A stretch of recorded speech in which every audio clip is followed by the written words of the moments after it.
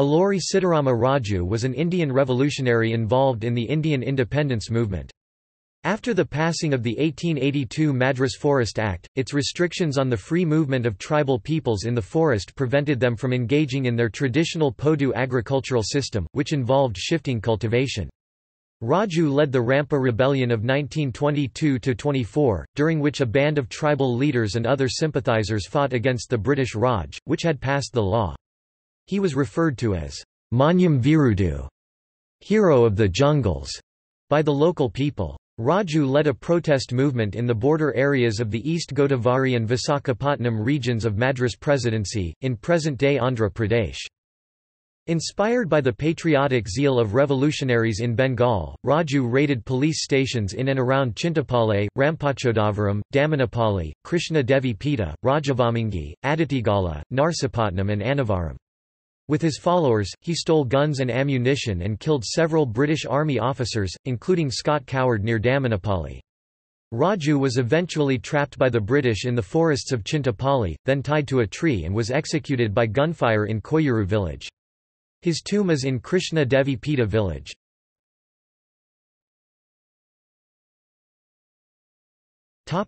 Life Details of Alluri Sitarama Raju's early life vary. Several sources report his birthdate as 4 July 1897 in Bhimunipatnam, Visakhapatnam district, with more recent news stories naming the village of Pandrangi, which lies in the Bhimunipatnam Legislative Assembly constituency, as his precise place of birth. Some other sources claim his birthdate as 4 July 1898. At the age of 12, Raju lost his father.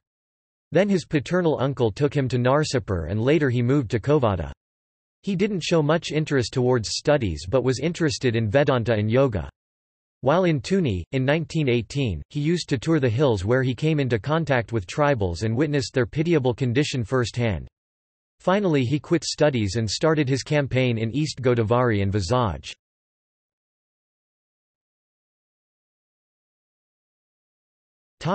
Rampa Rebellion of 1922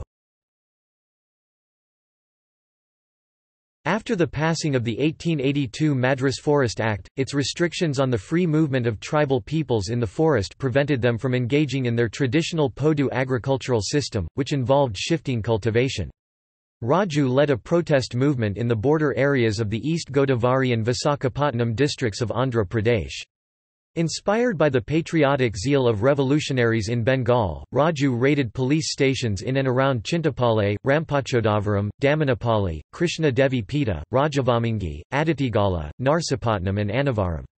Raju and his followers stole guns and ammunition and killed several British Army officers, including Scott Coward near Damanapalli. In December 1922, the British deployed a company of Assam Rifles, near Pagadapalla under the leadership of Saunders.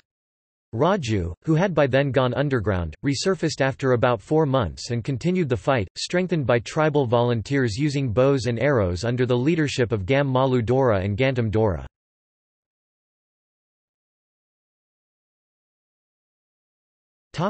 Death Following a raid led by Raju on the Annavaram police outpost on 18 September 1923, Gam Malu Dora was arrested. The government entrusted the task of containing Raju's activities to the district collector of Visakhapatnam district, Rutherford, who fired the first salvo when his forces arrested Surya Narayana Raju Parachurla, popularly known as Agiraju, a devoted follower of Raju. The British campaign lasted for nearly a year from December 1922. Raju was eventually trapped by the British in the forests of Chintapalli. He was tied to a tree and shot dead in Koyyuru village. Police officer Nanaswara Rao, who had been responsible for the entrapment of Raju, was given the title of Rao Bahadur by the British. Raju's tomb is in Krishna Devi Peta village.